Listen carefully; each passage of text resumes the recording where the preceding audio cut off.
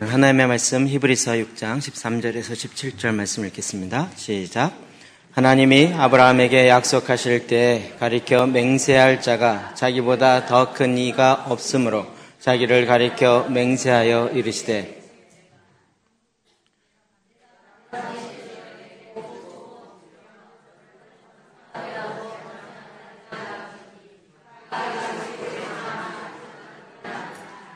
사람들은 자기보다 더 큰 자를 가리켜 맹세하나니 맹세는 그들이 다투는 모든 일에 최후 확정임을 하나님은 약속을 기업으로 받을 자들에게 그 뜻이 변하지 아니함을 충분히 나타내시려고 그 일을 맹세로 보증하셨나니 아멘. 오늘 축복과 저주 여덟 번째입니다. 음, 우리가 이 축복과 저주는 가장 핵심적으로 신명기 28장에 있는 내용을 중심으로 계속 살펴보았습니다. 하나님께서 하나님의 백성 또 하나님의 형상으로 지은 바들을 향한 하나님의 축복의 계획들은 참으로 크고 놀랍습니다. 하나님 우리를 축복하지 않아서가 아니라 우리가 그 축복을 선택하지 않은 것인데 오히려 우리가 저주를 선택한 것인데 우리가 다시 하나님의 언약 가운데 회복되어서 그 하나님의 언약을 근거로 해서 하나님 우리에게 주고자 하는 그 언약의 축복들을 다시 찾아, 찾게 되어지고 그 언약의 축복을 누릴 수 있습니다. 예. 하나님께서 우리에게 이 놀라운 회복의 역사를 일으키게 하셨습니다. 그래서 신명기 28장에 나타나는 많은 하나님의 아, 축복이 무엇인지를 우리가 더 바로 알고 계속 입술로 고백하고 시인하고 선포하는 것이 필요합니다. 네. 저희가 새벽마다 아침에 하나님께 나갔을 때 예수님의 열두 기도를 합니다. 보혈 기도 선포를 합니다. 그 중에 두 번째 예수님의 보혈은 모든 저주에서 나를 구속하셨습니다. 전 이거 할 때마다 너무 기분이 좋습니다. 정말 하나님이 이렇게 예배하셨다라고 믿고 그 믿음으로 선포합니다. 예수 그리스도 안에서 나는 모든 저주로부터 자유롭고 모든 축복으로 축복받았습니다. 나는 내가 있는 곳에서 축복을 받을 것이고 나와 관련된 모든 일들도 축복을 받을 것입니다. 나는 내가 하는 일에서 축복을 받을 것이고 내가 한 노동의 열매도 축복을 받을 것입니다. 나는 들어와도 복을 받고 나가도 복을 받을 것입니다. 주님께서 나를 대적하기 위해 일어난 원수들을 내 앞에서 물리쳐 주실 것입니다. 원수들은 한 길로 왔다가 일곱 길로 도망갈 것입니다. 주님께서 나의 창고와 내 손으로 하는 모든 일에 복을 내시고 내게 주신 땅에서 복을 주실 것입니다. 주님께서 나를 그의 거룩한 백성으로 세우실 것입니다. 땅 위의 모든 민족들이 하나님께서 나를 그의 백성으로 택하신 것을 보고 나를 두려워할 것입니다. 주님은 나에게 풍부한 소산을 주실 것입니다. 주님께서 하늘의 아름다운 복을 열어 내 땅에 때를 따라 비를 내리시고 내 손으로 하는 모든 일에 복을 주실 것입니다. 나는 많은 민족에게 구워주고 빌리지는 않을 것입니다. 주님께서 나를 머리가 되게 하시고 꼬리가 되지 않게 하시며 위에 있고 아래에 있지 않게 하실 것입니다. 주님께서 나에게 이렇게 하실 것입니다. 그래서 이것을 입으로 계속 시인하고 선포하는 것은 너무나도 중요합니다. 하나님이 나에게 예비하신 그 축복이 무엇인지를 알고 그것을 내 입술로 계속 살아 시인하고 또 그 축복을 받는 것입니다. 이것이 왜 중요하냐면 우리가 너무나도 하나님의 축복 가운데 살아간 게 아니고 하나님의 율법을 어김으로 하나님의 법을 어김으로 저주 아래 살았고 저주 아래 산 지가 워낙 오래돼서 하나님의 사랑의 아들의 나라, 나라 안에 들어가서 하나님 아버지로부터 받는 그 축복을 받으며 사는 그 삶이 오히려 익숙하지가 않은 거죠. 돌아온 탕자가 되었는데 줄여서 돌탕이 되었는데 아, 아버지와 함께 살았던 그 순간이 굉장히 짧고 아버지를 떠나서 세상에서 허랑방탕하면서 살았던 기간이 너무 길어서 아버지 앞에 다시 돌아왔는데 그 아버지와 함께 사는 그 삶이 오히려 익숙하지 않은 거예요. 내 과거에 허랑방탕했던 삶이 훨씬 익숙해서 오히려 아버지 안에서 그 풍요로움과 하나님의 아버지의 축복을 누리는 것을 잘 못하고 있는 거예요. 오늘날 저와 여러분이 비슷하다고 생각이 듭니다. 우리가 자녀를 생각하면서 자녀를 늘 축복의 대상이고 늘 축복하기 원하고 또 실제 그런 마음으로 합니다. 그런데 참 이율배반적인처럼 느낀 것은 저는 자녀에 대해서 그렇게 생각하고 그렇게 하고 있는 것처럼 착각하고 있는데 제가 부모를 생각하면서는 부모가 나를 축복한 적이 없을 것 같고 부모가 나를 칭찬한 적이 없고 부모가 나를 인정한 적이 없고 뭐 이런 느낌으로 평생을 살았습니다. 이율배반적이죠. 참 이렇게 좀 안 맞는 것 같은 우리가 그리스도 안에서 새로운 하나님의 아버지로서의 그 축복 가운데 들어갈 때 여러분 이제는 이 축복의 삶을 내가 받아내야 됩니다. 내가 그것을 누려야 됩니다.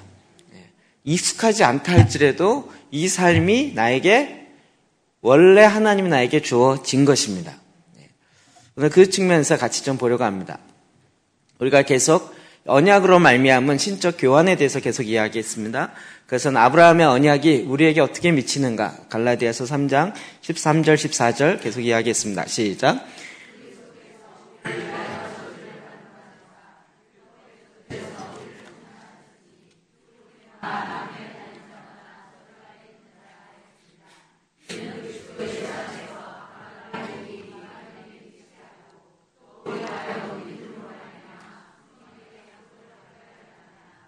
아멘, 아멘. 그럼 이것이 믿음의 거룩한 신적인 교환이다. 언약으로 말미암은 교환이다. 이렇게 이야기했습니다. 저희가 언약에 대해서 참 많이 이야기를 했는데 아, 이번에 저도 좀 놀란 것은 우리 transformation school 할 때 지난주에 언약 이야기 했잖아요.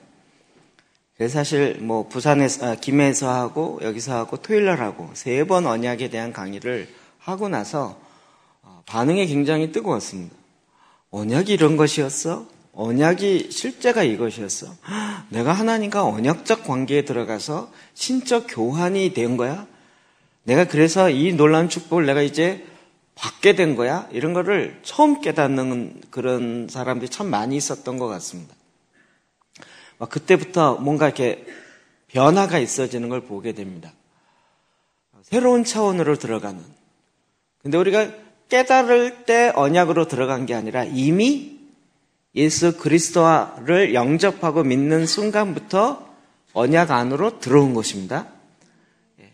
여러분 말씀에도 보면 아브라함의 복이 이방인에게 미치게 하고 우리를 하여금 믿음으로 말미암아 성령의 약속을 받게 하기 위해서 이제 우리로 하여금 우리가 받을 저주를 하나님께서 예수 그리스도에게 대신 받게 하시고 우리를 속량, 돈, 속점, 돈을 주고 사오는 그러므로 우리를 이제 놀라운 생명의 교환이 일어났던 것입니다. 우리가 이걸 교리적으로 잘 압니다. 그러나 더 중요한 것은 아는 것에 멈추는 것이 아니라 이 축복을 내가 받아내서 내 현재의 삶에 살아내는 것입니다. 축복의 삶을 살아내는 것입니다. 우리는 기복주의를 이야기하지 않습니다. 하나님보다 복을 얻기 위해서 하나님을 이용하는 그런 측면을 이야기하는 것이 아닙니다. 그러나 하나님 아버지께서 우리를 나를 정말 축복하게 원하셔서 창세기 1장 26절에 인간을 창조하시고 그들에게 복을 주시며 가라사대. 하나님의 원하셨던 하나님의 축복이 있습니다. 당연하지 않겠습니까? 사랑의 하나님께서 그 축복을 당연히 준비하시고 예비하시고 나누 우리에게 주고자 하지 않으시겠습니까? 이제 우리가 그것을 알 뿐만 아니라 실제 내 삶 속에 누려내는 것입니다. 자, 그럼 그 축복의 내용이 실제적으로 무엇이냐? 창세기 21장 아, 1절입니다. 시작. 아브라함이 나이가 많아 늙었고 여호와께서 그에게 범사의 복을 주셨더라. 아멘. 그럼 그 축복의 범위는 어디냐면 아브라함과 맺은 언약은 곧 뭐라 그랬죠? 이방인인 나와도 맺은 언약입니다. 그러니까 아브라함에게 주어진 축복은 나에게 주어진 축복과 같은 것입니다. 자, 아브라함이 나이가 많아 늙었고 여호와께서 그에게 범사의 복을 주셨더라. 신명기에는 어떤 복이 있어요? 그 집에 자녀에게도 복을 주고 그 집에 가축들에게도 복을 주고 그릇 대접에도 복을 주고 예. 하나님께서 계획하신 것들입니다. 그가 하는 모든 일에 복을 주셨더라. 범사의 복을 주셨더라. 저와 여러분이 마찬가지로 아까 우리가 뭐라 읽었죠? 내가 하는 내 손으로 하는 모든 수고가 하나님께 헛되지 않고 축복으로 올 거라는 거죠. 아, 저는 그렇게 되리라고 믿습니다. 요즘에 막 책도 만들고 강의도 하고 이렇게 하다 보니까 좀 수고가 많은 것 같은데 그럴 때 요를 읽으면 기분이 좋아져. 그래 이 수고가 하나님이 계속 해주실 것이다. 제가 최근에 하나 좀, 아, 좀 제가 포기하고 있었던 건데 하나님의 이 말씀을 통해서 제가 깨달았던 저의 인생에서 한 가지. 전에 간증처럼 이야기했는데 그 뒷부분 이야기 안 했거든요. 왜냐면 그거는 안 이루어질 거라고 생각했기 때문에. 네. 제가 스물, 음, 스물, 군대 갔다 와서죠. 갔다 와서 그러니까 한 스물다섯, 여섯 살 정도에 그 훈련을 받으면서 그 time management, 시간 관리라는 훈련을 강의를 듣고 훈련을 받은 적이 있습니다. 그래서 인생 계획을 짜라는 거죠. 인생 계획. 얘기했죠? 그래서 30대 뭐 할 거냐? 26살에 1년 후에 뭐 할 거냐? 2년 후에 뭐 할 거냐? 4년 후에 뭐 할 거냐? 30에 뭐 할 거냐? 40에 뭐 할 거냐? 35세, 40, 50, 60, 70 이렇게 잡았는데. 그러니까 이제 26이니까 우리 각혜진 전사님이 그 정도 되죠. 5시에요? 아, 죄송합니다. 그때 지금 서른에 뭐 할 것 같아요? 마흔에 뭐 할 것 같아요? 50에 뭐 할 것 같아요? 까마득하죠, 50 그러면. 감이 안 오죠? 50이 내 인생에 과연 올까? 막 이런 생각이 들죠. 저도 막 그랬어요, 그때. 그래갖고, 뭐 내년은 아마 뭐 할 거야. 아, 그때 뭐 이제 4학년 들어가면 졸업하겠지 뭐. 뭐 그냥 계산이 나오는 거예요. 근데 3년 후는 아, 대충 미루어 짐작하건데 뭐 요 정도 하겠지. 이렇게 적은 거예요. 근데 이제 40이 될 때 뭐 할까? 이를 생각하니까 아, 그때부터는 이제 에라 모르겠다. 그냥 기분 느끼, 가는 대로 적자. 그랬고, 아유, 40에. 그래서 제가 40에 목사 한 수 받겠다. 이랬어요. 젊어서 목사 한 수 받으니까 좀, 목사가 너무 나이가 젊으니까 약간 목사 같지 않은 느낌이 있더라고요. 그래서, 아, 목사 한 수 난 40에 하겠다. 50에 뭐 할 거냐? 50에 개척을 좀 해야겠다. 60에 뭐 할 거냐? 그때 60에 뭐 할 거냐 그러면 제 마음속에 뭐가 있었냐면 그때 신학생들 사역했기 때문에 신학생들 사역을 해갖고 소그룹 중심의 셀 교회를 연합해서 전국 네트워크를 만들 것이다. 이런 원대한 계획을 딱 60에 될 건지 상관없이 까마득한 옛날을 적어놨으니까. 근데 지난번 제가 얘기했을 때 요 60 얘기 안 하고 50까지만 얘기했어요. 제가 몇 살에 목산수 받았어요? 실제로? 40이요. 몇 살에 개척했어요? 50이요. 소름이 끼치다니까요. 그런데 그 마지막 건 얘기 안 했는데 그게 생각이 딱 났어요. 신학생 사역했기 때문에 막 그때 11개 대학인데 사실 그 대학은 교단이잖아요. 그냥 뭐 총신만 있는 게 아니라 장신 뭐 그 칼빈도 있고 성결교, 감리교 뭐 그러니까 모든 교단을 다 총라 망라할 수 있으니까 얘네들이 점점 점점 해서 교회 개척하고 위인 가고 자리를 잡고 그러면 지금도 걔네들 찾으면 제가 전국 순회할 수 있을 것 같습니다. 그때는 이제 걔네들이 성장해서 걔네들 모아서 총회를 만들리라. 뭐 이런 허황된 꿈을 꾸고 죄송합니다. 그런 그런 생각이 있었어요. 그런데 그 60에 적어놓은 건 설마 이루어지겠어? 그래 안 되겠지. 그리고 얘기도 안 하고 있었는데 갑자기 생각이 딱 나는 거예요. 아버지, 계획은 하나님이 저에게 주신다 할지라도 그것을 이루시는 것은 여호와 하나님이시고 어떻게 이루시느냐도 하나님의 방법대로 이루시죠. 그 저희 기도 제목 차원에서 말씀드리면 우리 다음 주 목요일 날 저녁에 제천 가서 제천 이제 지역 목사님 네트워크를 할 가능성을 갖고 하는데 그쪽에 계신 그분이 굉장히 그런 네트워크가 실제 많더라고요. 그분은 뭐 한 번 동원하면 제천에 6천 명을 동원할 수 있는 그런 아, 시의원이고 뭐 권사님이고 목사님이고 뭐 다 얘기하더라고요. 그런 인간적 그런 게 중요한 게 아니라 어쨌든 정말 한 도시를 하나님 앞에 온전히 세우고자 하는 그런 마음을 갖고 했던 사람. 자, 이번에 스쿨에 속초에서 오시는 분, 뭐, 강, 광주에서 오시는 분, 뭐, 그냥 정말, 어, 전국이 네트워크 될 것 같으세요?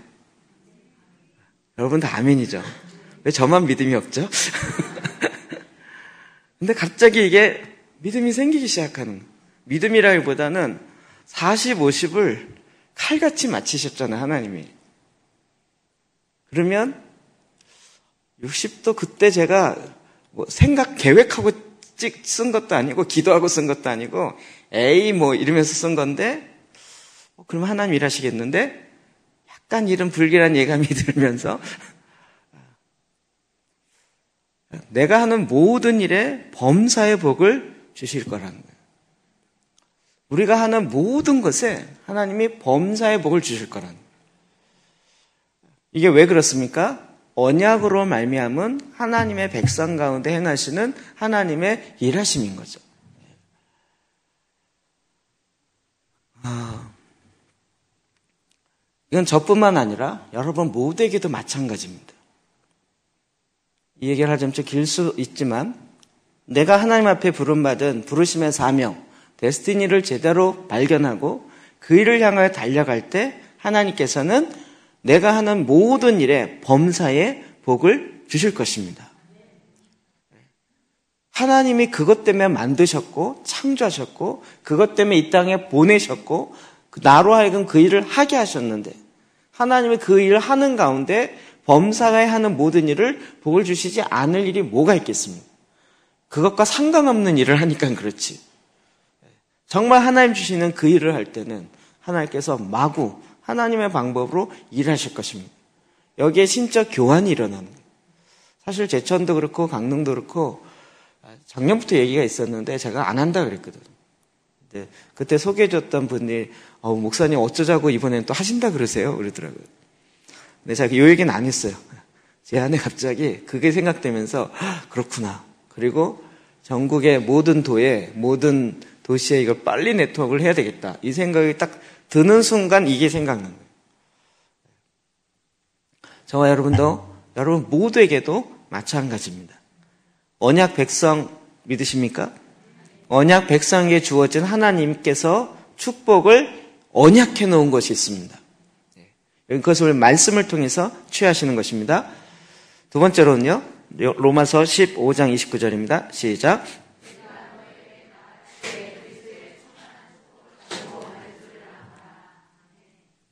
사도 바울이 로마 성도들에게 나아갈 때 뭐라 그러냐면 그리스도의 충만한 축복을 가지고 갈 줄을 나누라.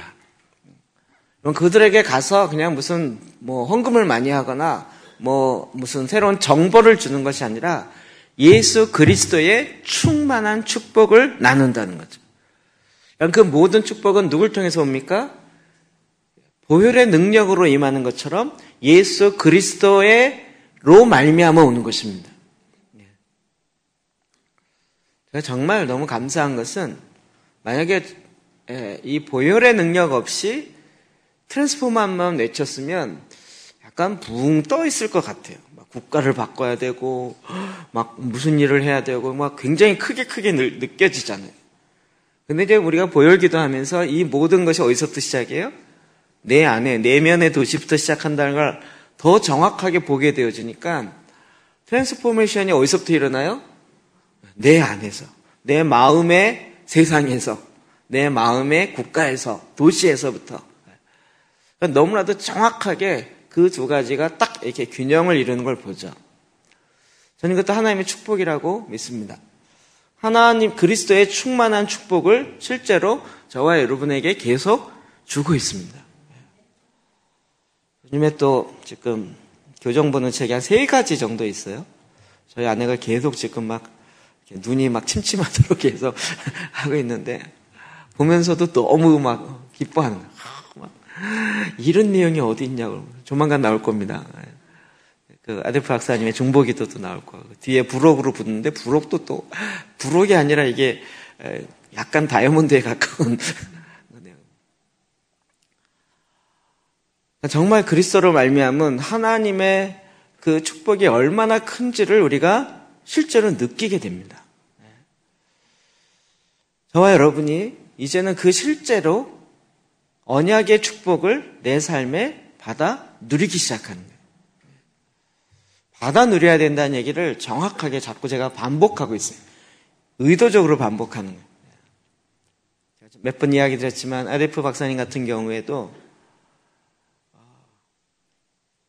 그걸 받아들이는 분이 정상일까? 안 받아들이는 분이 정상일까? 제가 자꾸 이걸 좀 생각해 보게 돼요. 저는 당연히 받아들이는 게 정상이다라고 딱 생각하고 만약에 그의 배경부터 봤으면 이해가 안 됐을 거예요. 근데 딱 보혈기도부터 봤기 때문에 이건 너무 성경적이고 너무 좋고 실제로 해보니까 마음을 팍팍 꽂히고 이건 너무 좋다. 무조건 해야 된다. 이래갖고 한 거죠. 하다 보니까 이렇게 이렇게까지 왔는데 지금 돌이켜 보니까 곱티교 출신의 미국 정교회 소속의 신부님을 누가 쉽게 받아들이겠냐고. 그렇죠? 웬만한 사람들이 강의는 좋아했지만 실제 교회에 초청해서 하는 케이스는 그렇게 흔치 않았던 거예요. 그래서 저는 받아들인 거죠. 그래서 그 축복을 내 걸로 받은 거죠. 취한 거죠. 안 받아들일 수 있어요.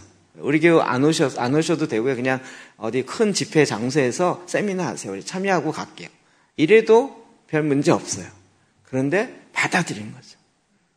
그, 그리고 그것을 나의, 우리의 것으로 취하는 거죠. 취하면 취할수록 보배가 나오기 시작하는 거예요. 예수 그리스도의 그 말씀으로 말미암은 그 보배, 이 신적 교환이 계속 일어나는 거죠. 요한복음 16장 13절부터 15절입니다. 시작.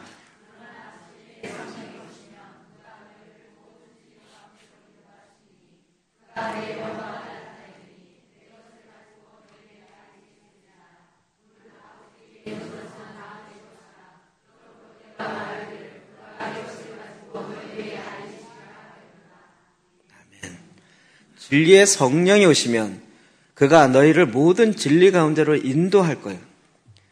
그가 내 영광을 진리의 성령께서 우리 하나 그리스도의 영광을 나타내실 것이. 그리고 내 것을 가지고 너에게 알릴 것이. 성령께서 나에게 오셔서 계속 알려주시고 인도해 주시고 무릇 아버지께 있는 것은 다 내 것이라. 그러므로 내가 말하기를 그가 내 것을 가지고 너희에게 알릴 것이라. 성령께서 예수 그리스도 안에 있는 그 충만한 걸 갖고 우리에게 다 알려주시겠다는. 지금 위에는 여호와 하나님께서 그에게 범사의 복을 주실 것이고 예수 그리스도의 충만함으로 축복하실 것이고 세 번째로는 성령으로 말미암아 우리에게 모든 것을 알리실 거예요. 약간 우리를 축복하기 위해서 지금 삼위 하나님께서 성부 하나님, 성자 하나님, 성령 하나님께서 우리를 축복하시려고 작정하고 계세요. 너무 축복주의로 가는 것 같은 느낌이 드는데 그래도 성경에 있는 내용이니까요. 그렇죠? 우리가 하나님의 말씀을 지켜 행할 때, 아무 조건 없어, 도 축복해 주는 것이 아니라 주의 말씀을 듣고 그 말씀을 지켜 행할 때, 주님께서 우리에게 약속대로 하나님의 말씀의 축복들을 부으시는 거죠. 제 마음이 요즘에 굉장히 부해졌습니다. 요즘 저도 막 이렇게 마음에 부해져요. 점점 넉넉해지는 것 같습니다. 살이 쪄서 그런지 마음도 넉넉해지는 것 같습니다. 그다음에 언약으로 말미암은 이 놀라운 교환이 이제 우리 안에 구체적으로 실제적으로 내가 받아 누리게 되는 것입니다. 히브리서 10장 14절부터 18절 봅시다. 시작.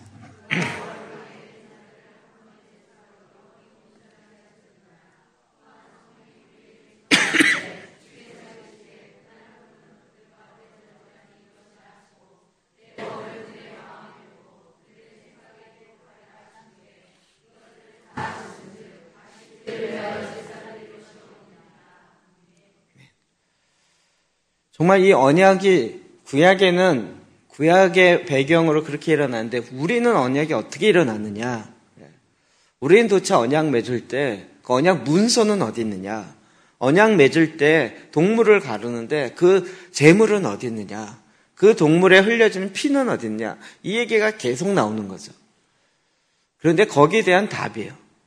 그가 거룩하게 된 자들을 한 번의 제사로 영원히 온전하게 하신 거예요. 우리는 구약에 있는 것 같이 불완전한 동물의 피로 말미암은 언약을 맺는 것이 아니라 완전하신 예수 그리스도의 피로 말미암아 영원한 그리고 온전한 제사를 한 번에 드리는 거죠. 그래서 제일 18절 보세요. 그 이것들을 사하셨은즉 다시 죄를 위하여 제사 드릴 것이 없느니라. 왜요? 그 한 번이 영원하기 때문에. 그 영원 안에 우리가 있는 거예요. 제사가 필요 없는 것이 아니라 그 한 번 드린 그 제사가 완벽하기 때문에. 구약의 제사는 한 번 드리고 끝나요? 아니죠? 매년 드려야 되는 거예요. 매 절기 때마다. 왜요? 그것은 완전하지 않기 때문에. 근데 예수 그리스도로 말미암아 우리가 얻은 그 언약은 예수 그리스도로 완전하고 영원한 거예요. 그 피는 그 제물은 흠이 하나도 없고 죄가 하나도 없고 그 피는 완전히 정말 보혈이고 온전한 대제사장이 자기의 죄를 위해서 대신 속죄제를 드릴 필요가 없는 그 대제사장이 직접 스스로 제물이 되어서 십자가에 그 언약의 증표가 되어주므로 이 일에 15절 또한 성령이 우리에게 증언하시는. 주께서 이르시되 그날 후로는 그들과 맺을 언약이 이것이라 하시고 내 법을 이제 여러분 그 언약 맺은 그 문서가 어디 있어요? 어디에 새겨져요? 돌에 새겨지는 것이 아니라 이제는 내 마음에 새겨지는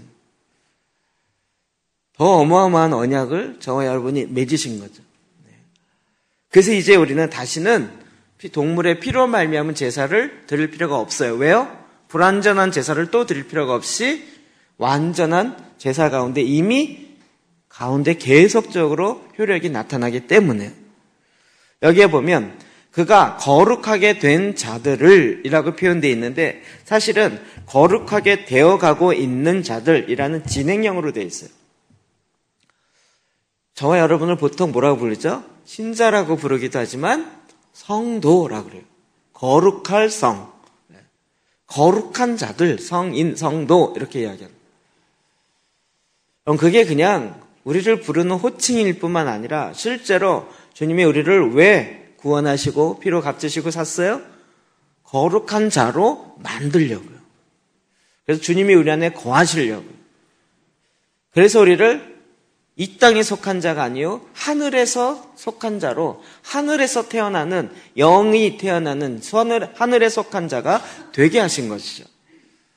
그러므로 우리는 거룩하게 되어 지고 있는 자이죠. 그러니까 우리의 육체의 출생과 딱 같습니다. 우리의 육체로 출생했을 때 그 아기는 완전한 인간입니까? 불완전 인간입니까? 불완전해요? 손가락이 다섯 개였다가 자라면서 점점점 많아지면 여섯 개 돼요? 그렇진 않죠? 인간으로서는 완전해요. 온전한 인간이에요. 그렇죠?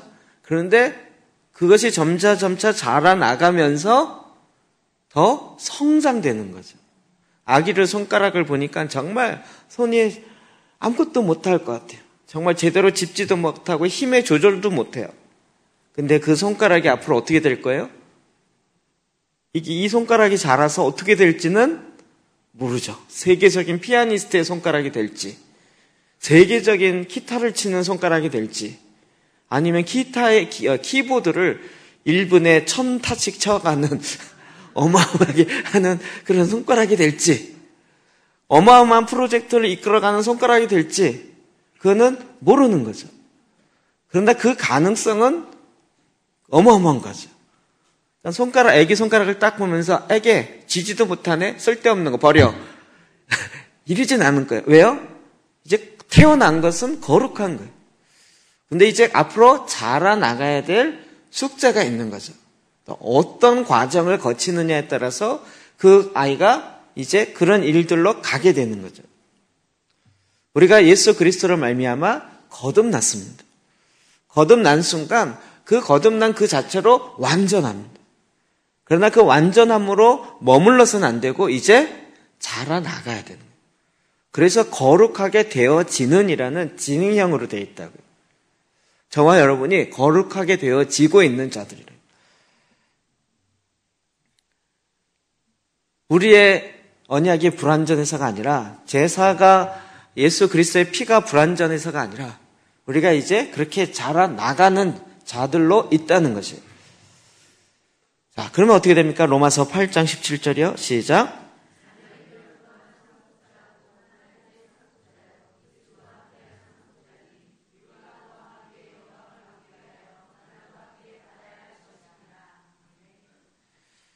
어떤 분이 이걸 이렇게 묻더라고요. 자녀면 또한 상속자, 곧 하나님의 상속자예요. 그리스도 함께 상속자니. 그 상속자, 우리가 상속자 있는 거를 이제 알았대요. 상속자인데 그 아버지께 상속을 언제 받나요? 보통 아버지가 돌아가셔야 받는데 하나님 아버지가 돌아가실 것 같지 않은데 언제 받나요? 아 그분이 굉장히 뜨한 질문을 하셨어요. 근데 여러분 그 상속이 죽고 난 다음에 받는다는 얘기는 어디에 있죠? 성경에 있나요? 살았을 때 상속해주면 안 되나요? 자녀이면 후사 곧 그의 기업을 물려받을 자요. 여러분 그 아버지의 기업을 하나님께서 사실은 여러분 세상의 법이 그렇다 그래서 그리고 이게 지금 대물림으로 인해서 일어나는 부의 분배 문제를 문제 삼기 때문에 그 상속의 이야기를 이야기하는 거지. 여러분 상속이 나쁜 거라고 자꾸 생각하는 언론의 설교에 너무나 많은 귀를 기울이지 마십시오. 언론 너무 이상한 것은 여러분 우리 찬양 인도하는 강성희 목사님 아버지 목회 상속받았어요. 서울에 는 개척교회요. 여기 앞에 있는 목사님 대부분들이요, 아버지 목회로 상속받은 분 되게 많아요. 아무도 문제 제기 안 해요. 왜요? 대부분 다 개척교회를 상속받았어요. 빛과 함께. 그럼 그 위법 아닌가요? 잘못 아닌가요? 시골의 교회에서 정말 목회자 총빙이 안 되는데 그 아들이 그것을 상속받았어요. 그 잘못인가요? 사람들의 관심은 큰 교회, 돈 많은 이것만 생각하고 있는 거예요. 근데 실제로 상속받는 일들은 얼마든지 있어요. 여러분, 성경은 상속이 사실은 더 바른 성경적 개념이에요. 여러분, 이 상속의 개념이 지금 이 뭐야 교회 재정이 많으니까 이걸 자꾸 문제 삼는데 초대교회에 상속받는다 생각해 보십시오. 초대교회. 초대교회 장로 임직을 받는다 상, 상해 보십시오. 초대교회 박해받고 있는 그 교회. 블랙리스트 제1번 베드로, 2번 요한. 이렇게, 이렇게 가장 교회 지도자를 먼저 잡아서 먼저 박해하며 먼저 죽이려고 하는 그 순간에 내가 교회 직분자로 딱 임명받았어요. 이 얘기 뭐죠? 네, 블랙리스트 선착순으로 올라가는 거예요. 그게 문제 되나요? 그 교회를 디모데가 상속받았어요. 예. 잡히면 또 박해요. 그게 문제 되나요? 이게 자꾸 지금 사회적 관점으로 그렇게 보는 거죠. 자, 우리가 하나님의 기업을 물려받을 상속자. 이 얘기 이제 성경적 개념으로 보자고요.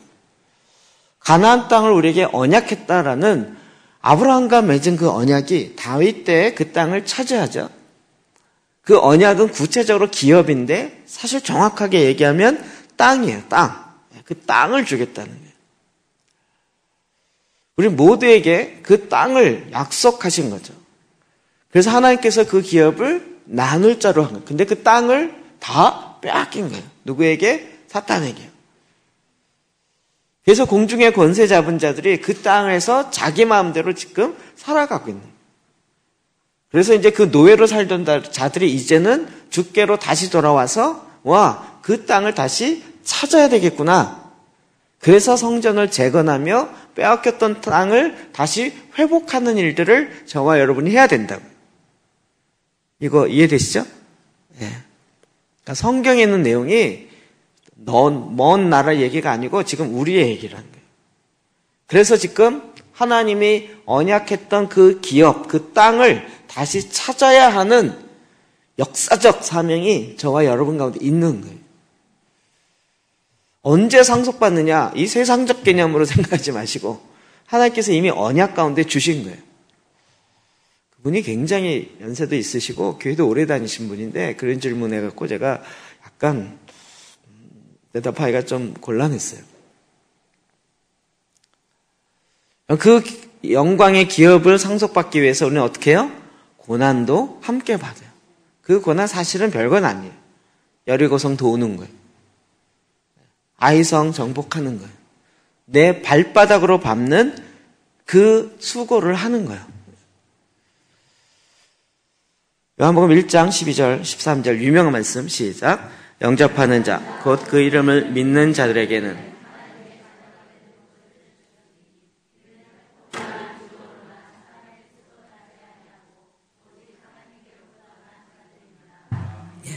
영접하는 자, 곧그 이름을 믿는 자들에게 하나님의 자녀가 되겠다 이렇게 얘기하지 않고 하나님의 자녀가 되는 권세를 주었다는 권세 뭐죠? 다스림이요. 저와 여러분이 예수 그리스도로 말미암아 다시 거듭나셨습니까? 하나님의 자녀이십니까? 모르시겠습니까? 자녀이면 하나님의 자녀로서의 권세도 같이 회복해 주신다. 그 권세를 갖고 내 마음대로 떵떵거리는 그 권세를 남용하는 자들이 아니라 그 권세로 아버지의 뜻에 따라 법에 따라서 다스리는 그 자녀가 된다고요. 그러므로 우리는 이제 이 모든 것들을 넉넉하게 받아 누려야 되는 거죠. 그거 제가 요즘 그걸 자꾸 생각해서 그런지 오, 막, 하나님께서 나에게 주시려고 이만큼 준비해 놓고 있는데, 제가 별로 받지를 못해요. 그러면 되게 속상하지 않을까요? 알고 봤더니 그런 거예요. 내가 막 없어가지고, 하나님, 이거 왜 없나요? 그랬는데, 야, 네가 내 말을, 말, 법을 몰라서 그렇지. 법대로 구하면 이게 다 되는데, 왜 법을 안, 안 듣냐? 그리고 구하지 않냐? 이렇게 되는 거예요. 원래 다 주기로 돼 있다니까요. 다 돼 있는데 못하면 억울하잖아요. 억울하지 않으세요? 삼성 그 어디죠? 에버랜드 가갖고 자유이용권이 있으신데 그거 갖고 하나만 타면 억울하지 않으세요? 거기 있는 거 모든 걸 다 탈 수 있는데 어, 다리가 아파서 세 개밖에 못 탔어요. 그러면 나오면서 억울한가요? 안 억울하세요? 그런 거 별로 안 해보셨어요? 학생들은 억울하죠? 아직 감이 없어요? 뭔 얘기인지 이해가 안 되세요? 오늘 왜 이러세요? 이미 다 마음껏 할 수 있는 자유이용권과 같은 것인데 그리스도 안에서 이제 우리가 그것을 말씀 속에서 알고 받아 누려야 된다. 그 권세가 회복돼야 된다.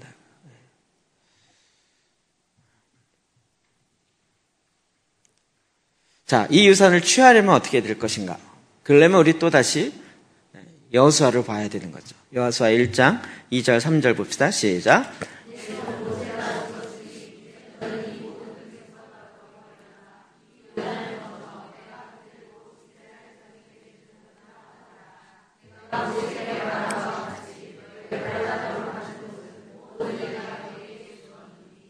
아멘. 여수아에게 약속한 건 사실 제일 처음 누구랑 약속한 거죠? 언약한 거죠? 모세. 그 전에는 아브라함이요. 그렇죠? 그러니까 이 언약은 우리에게 해당될 뿐만 아니라 그 밑에 있는 모든 자손들은 다 해당되는 거죠. 내가 모세에게 말한 바 같이 너희 발바닥으로 받는 모든 곳은 모든 너희에게 주었노니. 모두 너희에게 주었노니. 주었어요. 무슨 얘기인지 이해되세요? 이미 주었어요. 너희가 가서 발바닥으로 밟으면서 여기 내 땅 그러면 된단 말이에요. 근데 문제는 지도에다 그으면 안 되고요. 가서 발바닥으로 거기를 밟아야 되는 거예요. 굉장히 중요한 의미죠. 우리가 여기서 하나님 내가 모든 경제적인 것을 나에게 주신 걸 내가 선포합니다. 이래 갖고는 안 되고 이제는 가서 발바닥으로 밟아서 실제적으로 그것을 내 걸로 취해야 된다고. 이해되시나요? 네. 그 앞에도 보면 내정 모세가 죽었으니 이제 너는 이 모든 백성과 더불어 일어나 이 요단을 건너 내가 그들 곧 이스라엘 자손에게 주는 그 땅으로 가라. 그 땅이 무슨 땅이에요? 언약의 땅, 기업의 땅. 주님께서 주시겠다고 하는 그 상속의 땅. 저와 여러분에게도 하나님께서 그 기업을 주시, 이미 주셨어요. 우리가 가서 그것을 받아 누리면 되는 거죠. 그럼 이것이 언약이고 이것이 우리가 하나님의 자녀 되어진 권세며 특권인 거죠. 이거 받아 누리는 게 왜 이렇게 어색하죠? 그렇게 살아보질 않았기 때문에. 네. 그리스도 안에서 그런 삶을 안 살아봤기 때문에.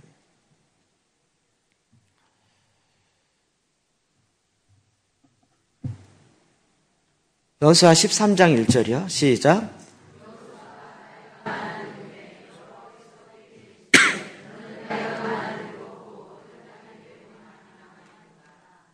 예. 여수아가 그 땅을 다 차지했느냐? 아니요.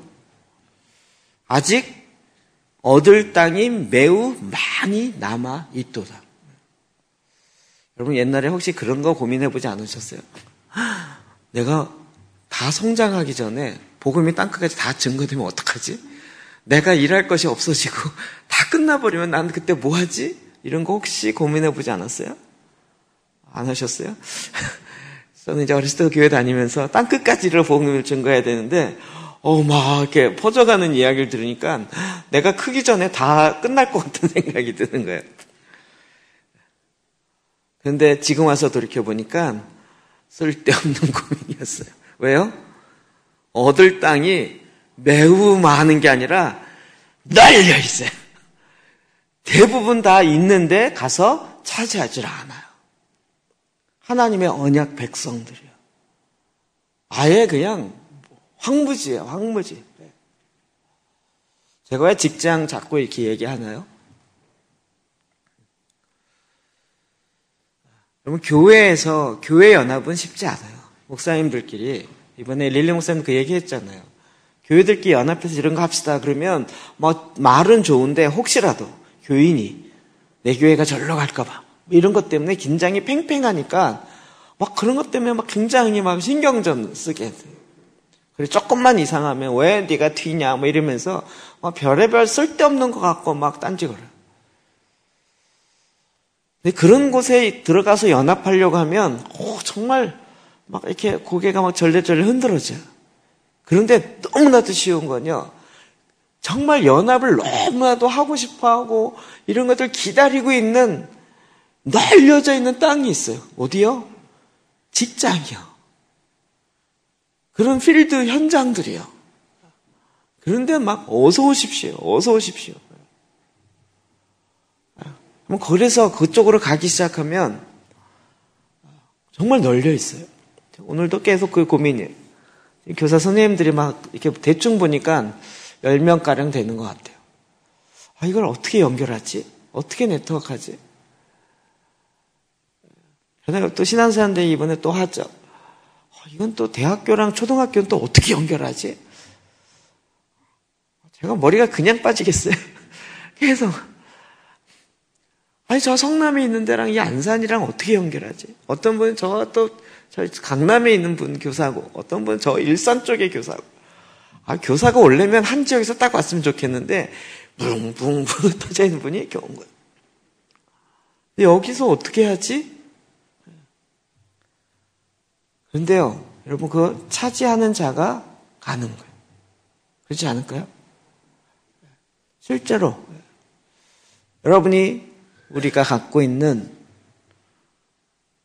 우리의 직장, 우리의 삶의 현장들이 사실은 이것의 실제예요. 실제.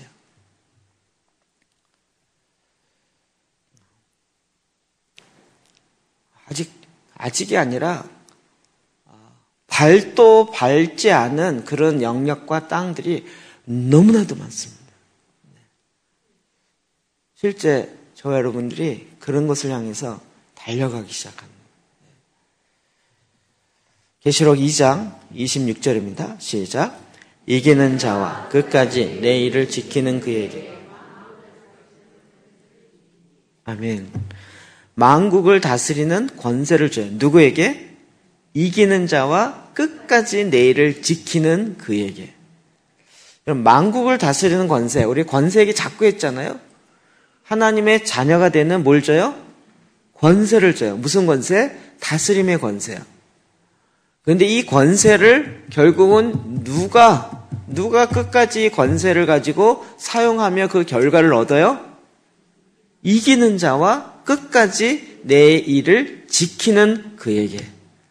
여러분 요한계시록 2장 3장에 나타난 소아시아 일곱 교회 계속 이게 다섯 군데 나타나요. 이기는 자에게는 이러이러한 상급을 내가 주겠다. 이기는 자에게는 이건 지금 도아디라 교회를 향해서 한 건데요. 서머나 교회를 향해서는 이기는 자에게는 둘째 사망의 해를 내가 그에게 받지 않게 하겠다는 둘째 사망이 뭐죠? 영원한 지옥에 가는 그 사망에 이르지 않는다는 거예요. 여러분 이거 어떻게 배웠어요? 예수 그리스도를 믿으면 예수 그리스도를 믿으면 영원한 지옥에 안 가고 하늘나라 간다 이렇게 배웠잖아요. 근데 지금 이 과정에 뭐가 있어요? 이기는 자와 끝까지 내 일을 지키는 그에게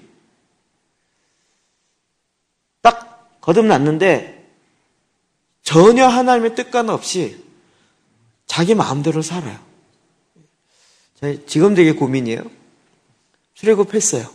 신해산 앞에 있어요. 그러다가 금송아지를 만들었어요. 그리고 그 앞에 경배했어요. 모세가 내려서 돌판을 던졌을 때 땅이 갈라졌죠. 그때 죽었어요. 그때 죽은 사람 지옥 갔을까요? 천국 갔을까요? 여러분 어떻게 생각하세요? 홍해는 건넜으니까 지옥, 아, 천국은 갔지 않았을까요? 이게 교리 갖고 풀리지 않은 숙제들이에요. 그 논리적으로는 맞아요. 한 번 구원받은 게 영원한 구원이고 확실한 구원이 맞는데 그렇게 구원받았는데 구원받아 와갖고 송아지를 섬겼어요. 우리가 역사서 계속 보니까 하나님의 성전에서 바알을 섬기고 자기의 자녀들을 몰락의 신에게 산차로 갖다 바치는 일들을 선택받은 이스라엘 백성들이 그 짓을 계속했어요. 구원 받았을까요? 못 받았을까요? 이제 좀 고민해 봐야 되지 않을까요? 그러면 이 얘기 또 나와요. 계시록 3장 21절 시작. 이기는 그에게는 내가 내 보좌와 함께 앉게 하여 주기를 내가 이기고 아버지 보좌에 함께 앉은 것과 같이 아버지 보좌에 앉는다. 여러분 그뭐 생각났어요? 보좌에 앉아. 지용 목사님 그 생각나지 않아요? 그리스와 함께 죽었고 그리스와 함께 살아서 그리스와 함께 일어날 승천으로 본다 그랬죠. 일어나서 그리스와 함께 보좌에 앉혀요. 예. 우리가 그 믿음의 삶을 그리스와 함께 한다는 거잖아요. 그런데 어떤 자가 보좌에 앉아요? 이기는 그에게는 내가 내 보좌에 함께 앉게 해주는 그게 그냥 저절로 디디디딕 자동해갖고 보좌 앞에 딱 앉혀지는 믿음만 있으면 된다는데 그 믿음이 지적인 동의 차원에서 믿음의 개념이 아니라는 거죠. 이겨야 되는 거예요. 사대 교회를 향해서는 이기는 자에게는 흰옷을 주고 생명책에 그 이름을 지우지 않겠다는 거예요. 여러분, 이기는 자에게 주는 축복들 가만히 보세요. 특별한 축복인가요?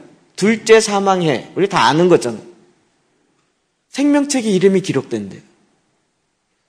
근데 그걸 지우지 않는데요. 어, 생명책에 이름이 한번 기록되면 영원토록 안 지워지는데 그걸 뭘 안 지워진다고 협박하셔?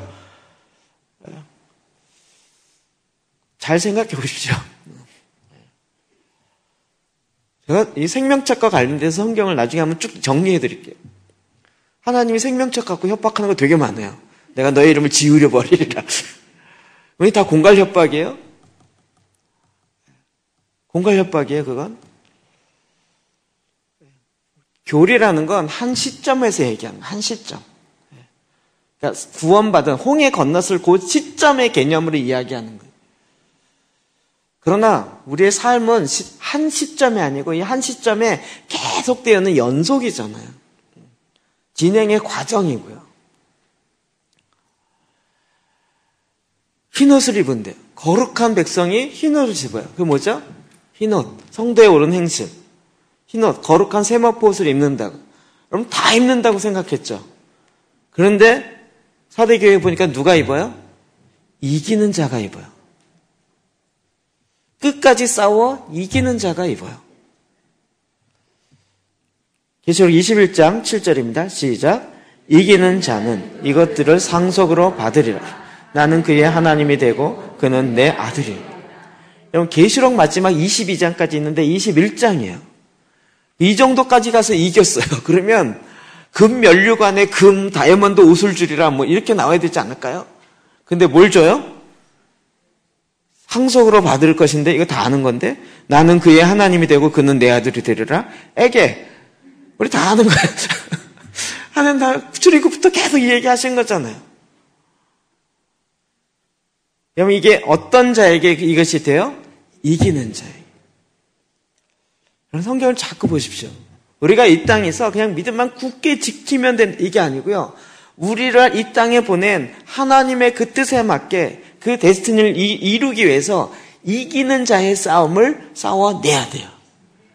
가나안 땅을 저 땅 우리에게 주셨습니다라고 그냥 선포해서 이기는 게 아니라 내가 싸우면서 발바닥으로 밟아내야 내 거가 되는 거라고. 그 유업을 하나님이 우리에게 주시겠다는 축복의 그 많은 언약의 내용들을 내가 받아 내어서 내 발바닥으로 내 손으로 구체적으로 가서 터치해야 그것이 실제 내 거가 되어진다고. 이해되시죠? 네. 여러분, 우리는 이 믿음의 실제적인 삶을 살아가야 됩니다.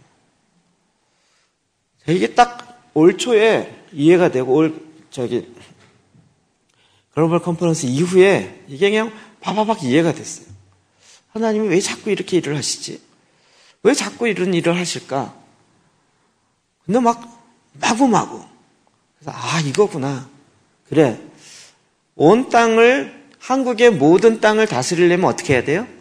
모든 땅을 밟아야 돼요. 밟아야 돼요. 그러니까 모든 도와 모든 땅을 밟아야 돼요. 제가 밟기로 작정을 했어요. 오케이. 그래서 지방에서 연락 오면 오케이 갑니다. 그래서 전에는 막 계산 계속 머리를 튀기면서 주판을 튀기면서 이 사람이 정말 할 사람인가 안 할 사람인가 정말 그냥 좋은 거니까 한번 슬쩍 찔러보는 건가 그냥 간 보는 건가 아니면 진짜 하려고 하시는 건가 그거 막 이렇게 점검해보고 막 이러랬는데 이제는 딱 가능성만 있다 그러면 오케이 가서 일단 발바닥을 밟는 거예요. 그렇게 해서 몇 군데 하다 보니까 놀라운 걸 하나 알게 됐는데요. 그 사람은 아니라 할지라도 그 사람을 통해서 따라오는 제2의 인물, 제3의 인물이 있더라고요. 나중에 보면 그 제2의 인물, 제3의 인물이 하더라고요. 그래서 그 사람이 아니라 그래서 안 가지 말고 그 사람이 아니라 할지라도 하나님의 인도하신 가운데 사인이 되면 가면 거기에 숨겨진 다른 사람들이 만나게 되더라고요. 안 가면 못 만나지는 거예요. 아, 내가 이제는 이렇게 가지 말아야겠다. 일단 가면 하나님의 일하심이 보이겠구나. 어떻게 해요? 내 발바닥으로 가서 밟아야 돼요. 믿으시나요? 네. 뭘 해야 되는지 아시겠죠? 우리에게 들어가도 나 복을 받고 나가도 복을 받고 이거 하려면 어떻게 해야 돼요? 나가야 돼요. 나갔다 또 들어가야 돼요. 그냥 가만히 있어서 되어지는 건 아니라고요. 율법을, 아, 유산을 내 걸로 하나님의 상속, 상속자가 돼서 그걸 내 걸로 취하려면 여러분이 싸워 이기는 자의 삶을 살아야 되는 거예요. 그래서 성경은 계속 이 이야기를 한 거예요. 믿음으로 말미암아 싸운 자들. 히브리서 11장 8절이요. 시작. 믿음으로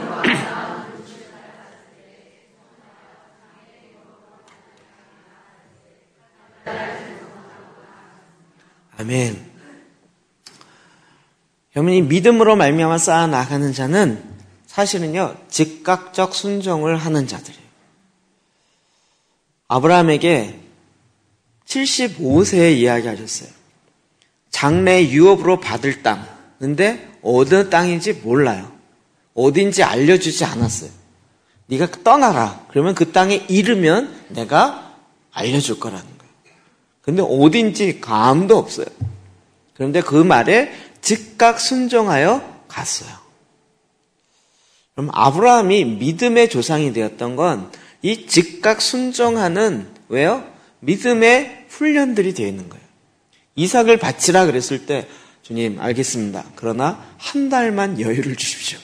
석별의 정을 나누고 이별의 정을 나누고 그러고 나서 한 달 후에 이르지 않고 예 즉각 순종으로 간 거예요.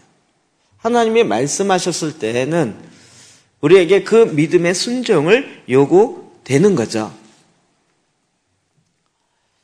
히브리서에 계속 이 아브라함의 믿음 왜요? 우리가 동일한 믿음으로 말미암아 그 언약에 들어간 자요. 그 언약 백성이 되니까 아브라함과 맺은 언약을 자꾸 봐야 돼요.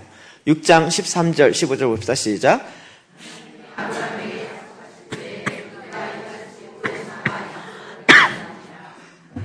약속은 언제 했죠? 자녀를 주리라 하는 약속은 언제 했죠? 75세가 아니라 85세 때 했죠. 창세기 15장에. 12장은 본토 친척 아벨을 떠나라. 너로 말미암아 큰 민족을 이룰 것이고 복의 근원이 될지라. 이렇게 얘기한 거잖아요.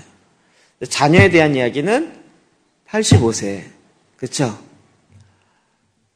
그 약속하실 때 그리고 언제 그 자녀를 받았어요? 99세 그리고 100세에 낳은 거죠. 몇 년 기다렸어요? 85에서 100세니까 15년이요. 하나님의 약속이 그냥 그 즉각적으로 일어나는 케이스가 그렇게 많지 않더라고요. 15년이 기다리는 거예요. 오래 참아 약속을 받았느니라. 사실 참는 동안 계속 참았었나요, 아브라함이? 아이고, 하나님, 안 될 것 같습니다. 게다가 그 자기 아내까지, 아이고, 안 될 것 같아요. 그냥 하갈 붙여서 그냥 저기 나옵시다. 이스마엘 낳고. 그 사이에 많은 일이 있었잖아요.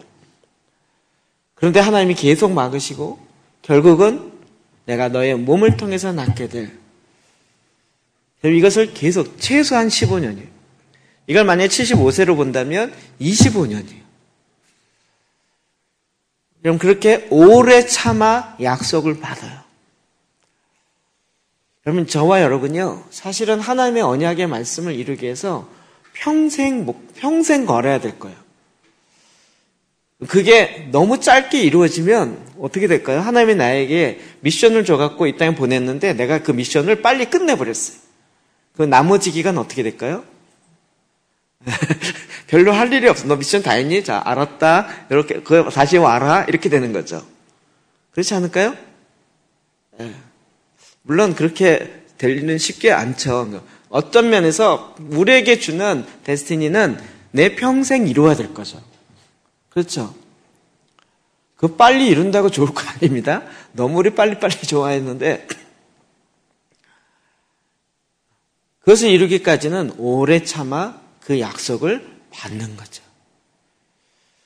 저와 여러분 마음속에 그 믿음을 주님께서 약속해 준 그 말씀을 딱 잡고 그다음부터 이기며 승리하는 자가 되기 위해서 꾸준히 싸우며 그리고 이제는 어떻게 해요?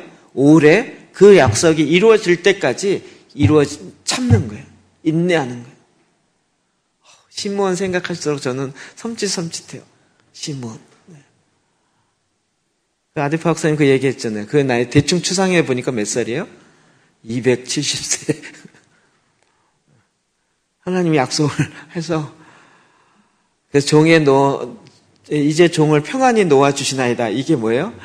메시아가 와야 자기가 죽을 수 있으니까 이제 죽고 싶은데도 못 죽는 거예요. 거꾸로 생각해 보면. 정말 나이가 들어서 이젠 정말 힘든데 메시아가 와야 이 약속을 받았으니까요.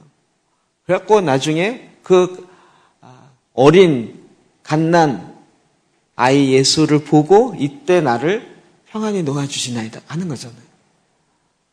어, 끔찍해요. 여러분 우리 주님 앞에 받은 약속이요. 하루아침에 이루어지지 않습니다. 무슨 자판기 꺼내듯이 뚝 누르면 뚝 나와갖고 약속 완성됐습니다. 이렇게 끝나지 않습니다. 오래 참아 그 믿음으로 견디며 나아가야 되는 거예요. 그래서 믿음의 싸움을 싸워야 되는 거예요. 로마서 4장 13, 12절이요. 시작.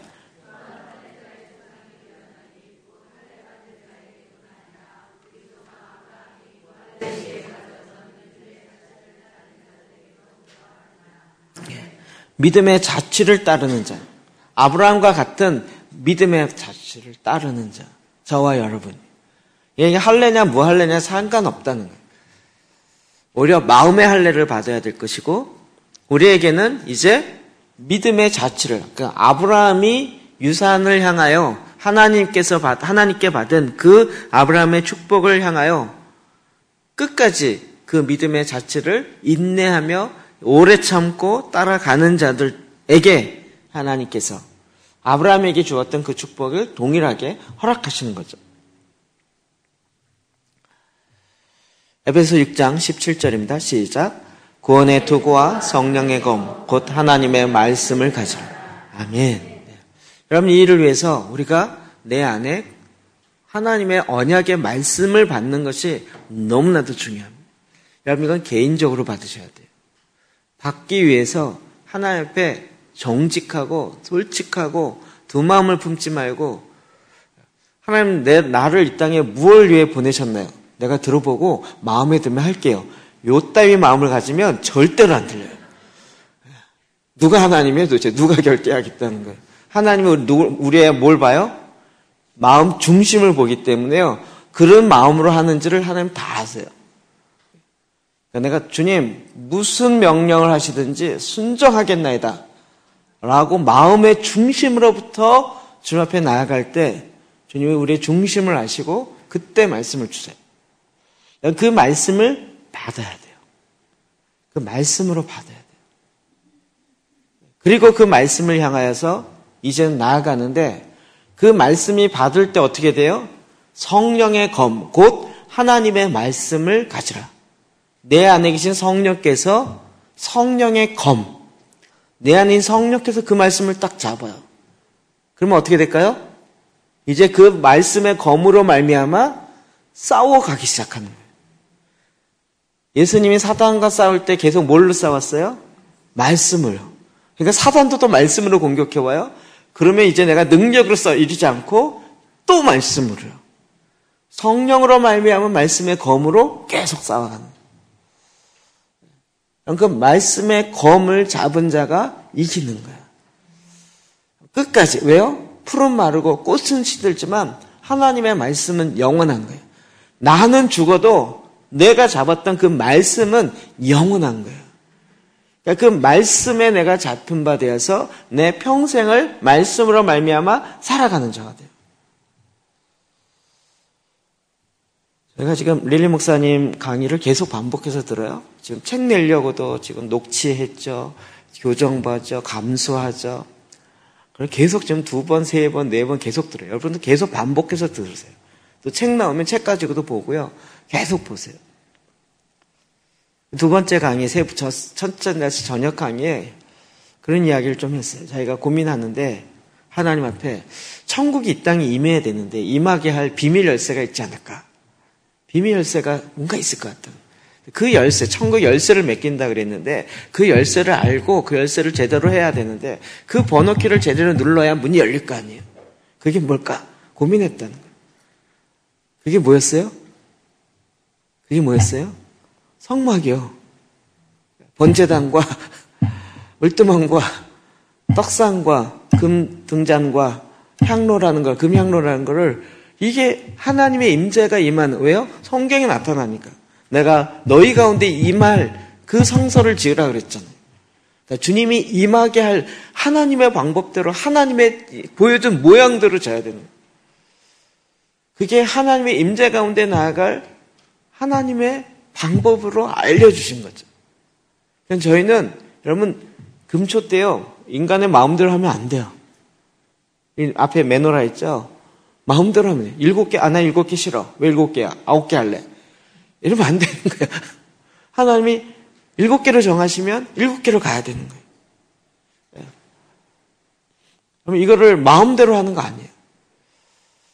그래서 그 안에 거하시는 말씀이 나를 잡는 거예요. 내 안에 계신 성령께서 그것을 잡아요. 그리고 그 말씀으로 말미암아 믿음으로 싸워 나가는 거예요. 사람의 얘기나 가능성으로 일하는 것이 아니라 하나님이 주시는 그 말씀으로 말미암아 싸워가는 거예요. 놀랍게 우리가 이 말씀을 딱 잡고 일어나 나갈 때요. 누가 함께 해요? 천사요. 왜요? 천사는 섬기는 영, 부리는 영이에요. 우리를 섬길 뿐만 아니라 또 누굴 섬겨요? 하나님을 섬겨요. 그 하나님은 어떻게 이야기하세요? 하나님이 말씀하셨잖아요. 이 말씀을 지금 수정드는 천사가 있잖아요. 근데 우리가 하나님 앞에 제사장이 되어서 하나님의 주신 그 말씀을 받아요. 근데 우리가 그 말을 했는데 이 말이 누구 말과 같아요? 하나님의 말과 딱 같아요. 그러면 천사들이 그것들을 같이 또 받아서 이 땅 가운데 그 일을 이루어 가겠죠. 그렇지 않아요? 그래서 여러분이 천사가 부리는 영이라고 막 부리는 게 아니고요. 하나님의 말씀에 붙들린 바 되어서 그 말씀으로 말미암아 하나님이 언약하지 않으셨습니까? 이 언약을 이루십시오. 하늘의 하나님의 명령과 이 말씀으로 말미 명령이 같은 거예요. 천사들이 막 어마어마하게. 이 비밀이요. 저와 여러분 가운데 있죠. 와. 저 그 비밀 모르고 제사장 기도 했거든요. 막 하고 가는데, 아, 이게 정말 놀랍게 이렇게 마치 미리 짜놓고 했던 것처럼. 근데 제가 릴리 목사님 만난 거 2년 전이잖아요. 그전에는 이름만, 이름도 제대로 몰랐고. 저희가 제사기도 한 지 4년 넘었고. 제가 막 성막기도 강의할 때마다 막 입이 바짝바짝 타는 건요. 정말 성막기도 8시간은 했으면 좋겠어요. 하나 할 때마다 하나 가지고 막 깊이 얘기해주고 막 이거 기도할 때 어떤 일들이 일어나고 어떻게 해야 되고를 성, 제가 요즘 막 고민이 많아요. 아우, 제사장 기도로, 제사장 기도 스쿨을 8주 따로 해야 되겠다. 막 이 생각이 듭니다. 성막형 기도, 우리 제사장, 제사장 성막 기도, 이것만 한 8주 과정으로 실제 하고, 워크숍하고. 아, 할까요? 지금 TK school 이것 때문에 지금 그런데, 제사장 제사장 school 할까요? 해야 되지 않을까요? 여러분이 하세요? 하나님이 어떻게 법계를 움직여지는지, 말씀이 어떻게 움직여지는지, 말씀 가운데 다 있는데요. 이게 성막이 이렇습니다라고 그냥, 그냥 정말 그냥 휙 본 것처럼 그냥 막 다다다다다 설명하고 넘어가니까 나중에 질문을 하고 질문 들으면 엉뚱한 질문들을 너무 많이 하는 걸 들으면 막 속이 타요. 하나님께서 그 가운데 다 넣어주셨잖아요. 그래서 어떻게 해요? 하나님의 말씀을 받게요. 하나님의 임재 가운데 들어가서 그 하나님의 말씀을 받는 방법과 그 길을 주님이 다 알려주셨잖아요. 감사하게도 우리가 그것을 알고 이제 계속 들어가는 거예요. 그 안에 더 깊이, 더 깊이. 디모데전서 2장, 아, 6장 12절입니다. 시작.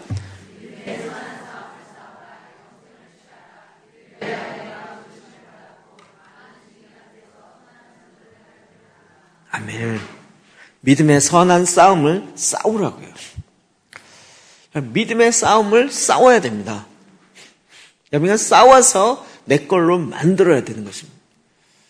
제가 싸움꾼이 돼야 된다 그랬죠. 저 여러분을 싸움에 능한 자로 만들어야 된다고. 그래서 우리가 굉장히 훈련소 분위기가 많죠. 훈련소 분위기. 죄송한데요. 여러분이 막 밖에 나가서 상처받고 들어와서 어, 막 다리를 다쳤어요. 너무 힘들어요. 아파요. 병원 같으면 얼마나 아프세요. 어이구 힘드셨겠어요. 고쳐줄게. 이러는데 훈련소 같으면 어떡하는지 아세요? 빠져갖고 그래. 훈련소 욕부터 나와요. 빠져갖고 그래. 배 아프다 그래도 뭐 기름 딱 발라주고 야 다 나았어. 앞으로 가. 뭐, 어, 감기약 그러면 그냥 비타민 하나 딱 주고 야 이거 감기약이야 먹어 나았어 가 이렇게 간 왜요? 전쟁해야 되기 때문에 그거 어디 아프냐 막 이래가지고는 싸움을 못하는 거예요 싸우는 못해. 훈련소는요, 그냥, 죄송한 얘기인데 안면 까야 돼, 이렇게. 안면 까고, 아프다 그러면, 아프긴 뭐가 아파. 일어나! 이래갖고요. 가야 되는 거예요. 너무 야박하다고 생각하지 마시고, 야박하다고 생각하지 마시고, 믿음의 선한 싸움을 싸우려면요, 약한 자가 돼서는 싸울 수가 없어요. 기합을 치고, 기합을 외치고, 그러면서 이 나에게 주는 하나님의 언약의 축복들을 받아 누려야 되는 거예요. 여러분, 이거 발바닥으로 밟은 것만큼 내가 하나님의 언약을 내 걸로 만드는 것이에요. 믿으시나요? 실제의 믿음의 일들을 행하시기를 주의 이름을 축복합니다. 여러분, 이제 이, 이해되시죠? 언약에 있는 말씀을 계속 여러분 묵상하시고 선포하시고 그리고 이제 그 말씀에 의해서 내가 내 발바닥으로 나아가기 시작합니다. 발걸음을 걸어가는 거예요. 이 믿음의 싸움을 싸우는 거예요. 싸웁시다. 우리 같이 나가 싸웁시다. 네. 우리 믿음의 군사들이여, 전우들이여, 일어나 싸웁시다. 일어나 싸웁시다. 같이 기도할까요?